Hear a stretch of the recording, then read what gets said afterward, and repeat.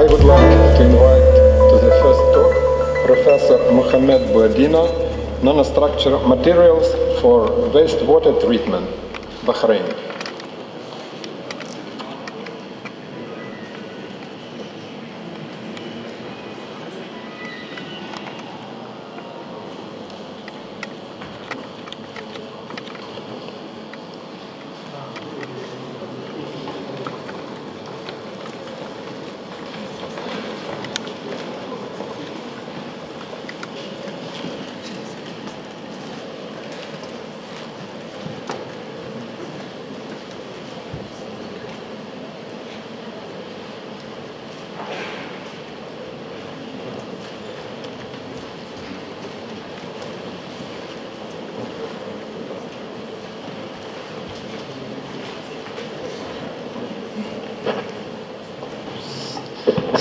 Good morning, everybody. Uh, first of all, uh, I'm so honored to be among you in this international conference about nanotechnology and nanomaterials.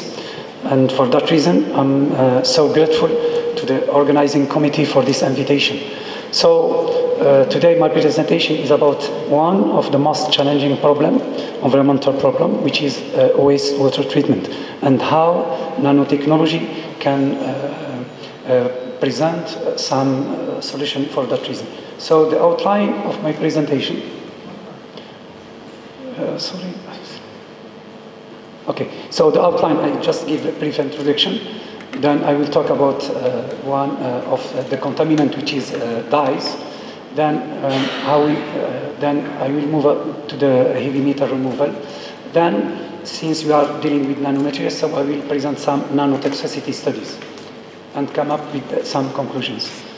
So we know that water pollution comes from different uh, uh, issues like laboratory, factories, and food industry, and this contaminated water will have direct effect on human beings' health and uh, aquatic uh, life and microorganisms.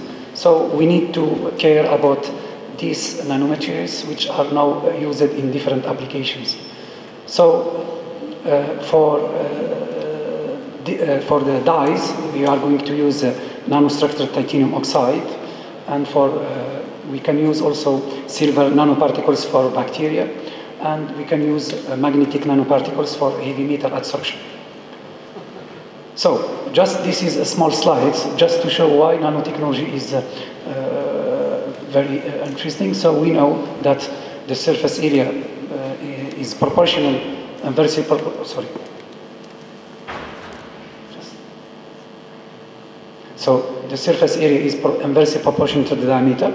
So once you have high surface area, you can have uh, active sites on the surface, and you can also have a higher uh, or energetic surface.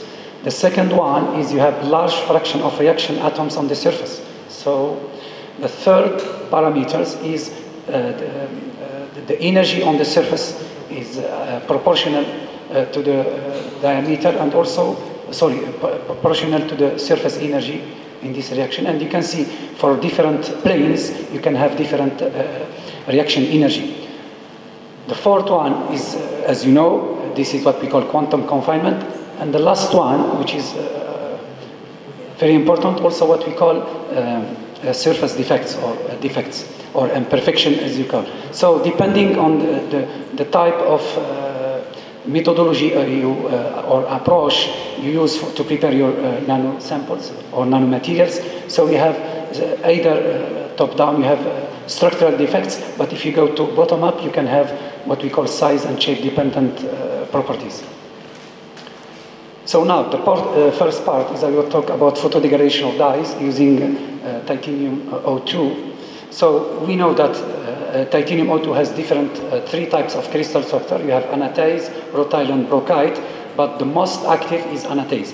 And sometimes it's not easy to make a single phase. So if you have additional phases in terms of rutile or brookite, so you have less active uh, phase.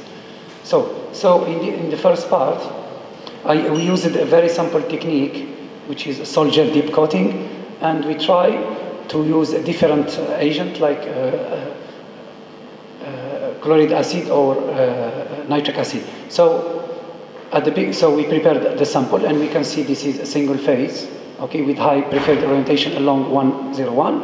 And as mentioned before, uh, the, the, the, the, preferred orientation has also direct effect on the reactivity of uh, your surface. So, and you can see that there is no size effect in terms of crystalline size, but you can see that the microstrain is uh, much higher for nitric acid. Okay, so we will see that what, how this will affect. So we did some FESEM uh, uh, uh, analysis, and we can see that uh, for HCl you have a continuous film with some uh, microsite pores or cracks, but for the case of nitric acid you have very continuous film formed of nanoparticles. So uh, and we did, of course, UV transmittance uh, and UV uh, transmittance measurements, and we can see that most you can see some interferences which gives an indication about the quality of your surface. And also from this you can from the how to say the amplitude you can determine uh, the what we call the thickness of the surface.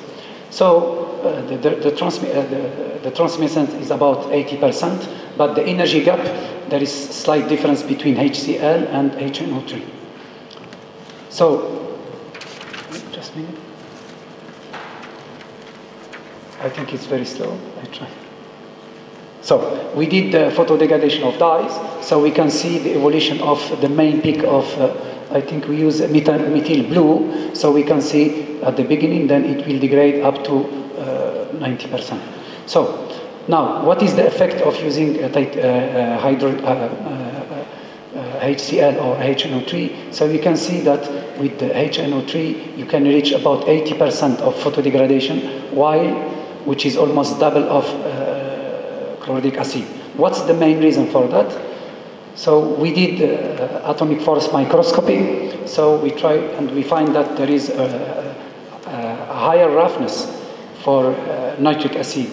Uh, sorry, yes, nitric acid, 36 nanometer compared to 17 only for chlorhydric acid. We went more deep in that analysis and we calculate using the, what we call the surface potential. It's very powerful technique in atomic force microscopy.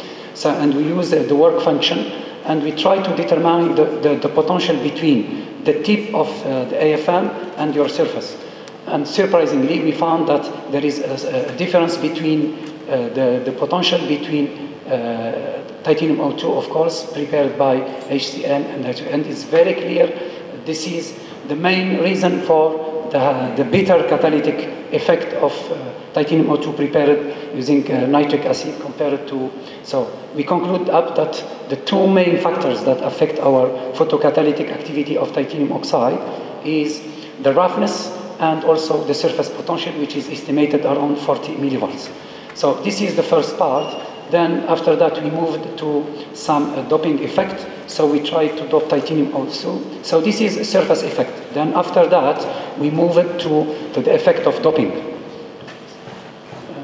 yes, so we did some doping with uh, silver, aluminium, and copper. And we did, uh, again, using the same technique, the same process, and we varied the uh, concentration of doping elements. So again, we obtain single phase, so we are very good to prepare single phase anatase uh, using this uh, sample technique. And again, we find preferred orientation. Now we would like to see the effect of doping nature, the nature of the doping element and its concentration on the photocatalytic activity. Sorry, because it's slow to move up. So uh, this is an analysis of X-ray diffraction. So we, we can see again uh, we have better control of particle size or crystalline size. So for different composition and different uh, doping elements, we are in the same range. Uh, microstrain uh, can change and we have slight change in lattice parameter. So some people they said when you make doping Y, you have if you have doping, real doping or successful doping, you have an effect on lattice parameter. But some cases I will show you that uh, some elements they don't go inside the crystal structure, but they form nanocluster on the surface. But also this is beneficial for the activity because they play a role as a catalytic, like silver and etc. So we did again uh, high resolution uh, uh, field emission sc scanning uh, microscopy, and we obtain, for example, for instance, for AG, as I said, we obtain nanodots well dispersed on the surface of titanium O2 film. and they form aggregates about 200 nanometers. And for aluminium, we have a very good distribution. Uh, for, uh, for copper, we have uh, nanoparticles below 10 nanometer, but there is some effect of solubility uh, when we go to higher concentration. So we, we did again atomic force microscopy and uh, for, for all the samples, and we come up with these results. So most of the film they exhibit granular structure uh, with sizes less than 100 nanometer, and the, the surface roughness, uh, for example, for copper content, it's between 0.64 below 0.4 and go up to 10, 2 nanometers for higher concentration. Then after very high concentration, uh, we can, as, as, I said, you can see the, we have some nano aggregates of 3.5 nanometers. Now, uh, so we did again optical uh, spectroscopy uh, using UV spectroscopy, and you can see again we obtain very good uh, surface because we have these interferences. So we can see that Ag doped uh, titanium O2 we have, how to say, transmittance around 70%. Uh, for aluminium 80%. However, it goes to lower values for copper, copper uh, doping. So in terms of uh, energy band gap, you can see that it increases in the case of silver and copper. However, for aluminium, there is very small changes. So I, I would say it's insignificant. Now, we come back to the photodegradation of dyes, and for this case, we use again rhodamine B. Uh, so we can see that there is uh, reduction, sorry. So we can say that the photodegradation or removal of uh, dyes, sometimes we use methyl blue and sometimes we use rhodamine. So we can see that for Ag, we, the optimum concentration is 0.5% and we obtain 80% of degradation. For the case of aluminium, it's much lower, which is 0.2%. And for copper, unfortunately, there is very, very, it's not very good, but we obtain very low uh, doping, uh, sorry, very low degradation compared to pure titanium O2. Okay, so this is our published paper, and you can uh, get copies of them. Now, I move to the second part, which is a heavy metal removal, and we use magnetic nanoparticles. So, as I mentioned during the presentation, that nanoparticles, they have high surface area, so, and the surface is very active. So you can absorb uh, different uh, heavy metal ions in the aqueous solution. And by a sample magnet, you see, so you can have the, uh, the, the, heavy metal ions on the surface, and by a sample magnet you can make a separation. And also, some people they ask me, uh, this process can be reused, so these nanoparticles can be uh, uh, retreated and be used again. So, so we use it. we try to use I2 iron to oxygen 3. So in that case, we try to use goethite, which is iron hydroxide, and by sample mechanical milling, as I presented during the summer course, this is very useful technique and low cost. So we have uh, we start with nanocrystalline uh, goethite, and by mechanical milling we obtain phase transformation to iron to hematite, and with nanocrystalline particle size and 15 nanometer scale. So so this is the magnetic properties. So we know goethite is, uh, we, we want to confirm this phase transformation. Goethite is paramagnetic, however, uh, magnetite is uh, uh ferromagnetic because we want a ferromagnetic uh, material for phase separation later on. So, so we can see from this slide that we have a very selective uh, absorption of heavy metal uh, so at the beginning, we optimize, of course. Sorry, can I come back? So we fixed the pH. We, we need to fix certain conditions, and we vary. Uh, we want to see the selectivity. So we fixed the pH and temperature and the concentration of the solution and the, the, concentration of magnetic nanoparticles. And we can see the selectivity in terms of element, cadmium, cobalt, nickel, and chromium. So then we we try to optimize the pH, and we confirm that because we, we, we use it 7 according to the literature, you know. So, but we wanted to test this for our samples, and we find the pH 7 is very uh, convenient for heavy metal removal. How much? Five minutes more, up to five minutes. Five minutes, okay. Yeah. I need to be quickly because I have other parts. So, uh, So we did also nickel doping, uh, and I need to move quickly. So we did magnetic uh, characterization. But if you have any question, please, during the conference, you can ask me. So we control uh, the magnetic properties using uh, nickel doping. Then I show the results of uh, heavy metal adsorption. Again, we have selectivity almost in the same order, but the, you can see it depends on the concentration of nickel. So you can see, I think the optimum concentration depends on the elements you see. So if you take 15 up to 0.15 for uh, chromium is the same. However, for cadmium, it, it, it's, uh, it's very sensitive to the concentration of nickel. So it depends on the elements you want to remove, and therefore you can optimize or choose the right doping concentration. So again, we use the magnesium uh, spinel phase. Uh, I move on. So we make all the calculations uh, and we try to understand the physics behind that. So we did SEM again, magnetic properties, and uh, we can see that how, because we need to understand the mechanism of uh, magnetic properties, because, because uh, why we increase uh, saturation magnetization, decrease of Hc, etc. And we try to give uh, different mechanisms. So for this case, you can see the decrease for sample treated at 700, the decrease of uh, coercivity and remanence is due to the formation of spinel phase. Then after at 800, there is an increase, which is due to the grain growth. So it's another mechanism. And the last one is due to the better crystallinity and better homogeneity in terms of uh, phase composition.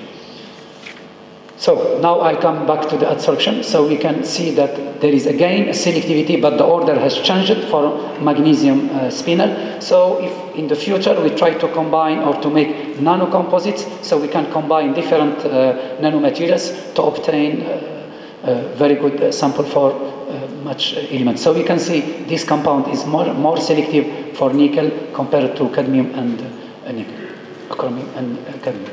So this is the results. Uh, I want to move. This is our references. You can use this reference. Now I, I will talk about the last one. So uh, we want, since we, we are dealing with uh, nanomaterials, so we try to see the nanotoxicity. What is the effect of these uh, uh, uh, nanomaterials on aquatic species? So we, I have a friend, he's a biologist, and he deals with microalgae. So we use microalgae as microorganisms to test our samples. So I don't, you know all of this about transport, deposition, etc.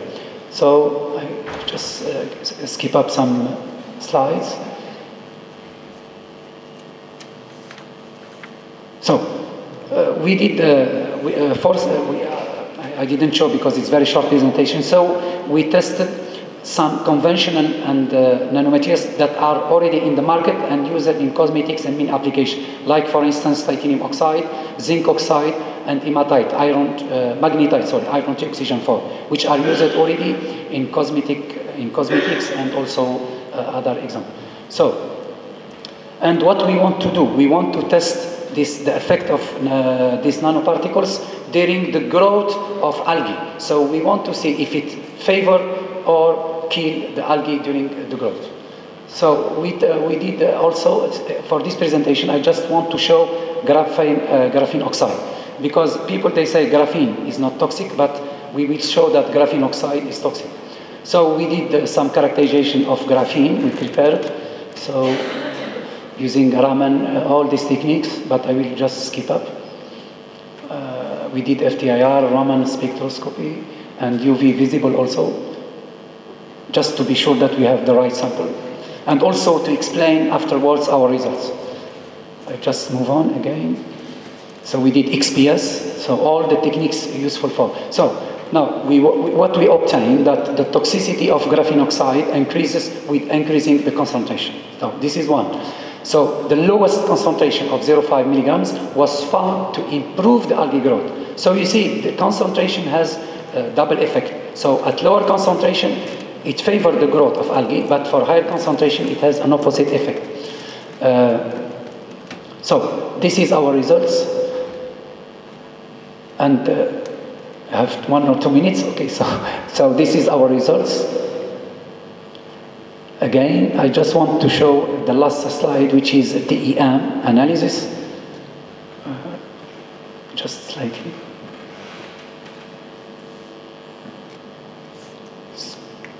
Another one. Oh, very slow. So you see that this is interesting TEM resolution. So you can see that graphene oxide can make a coating around the cell layers.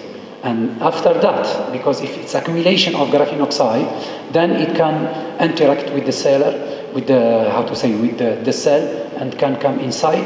If you, if you have an excess of graphene oxide, it will penetrate inside the cell. And that's why we, we, we confirm this interaction. So this is our papers published in international journals.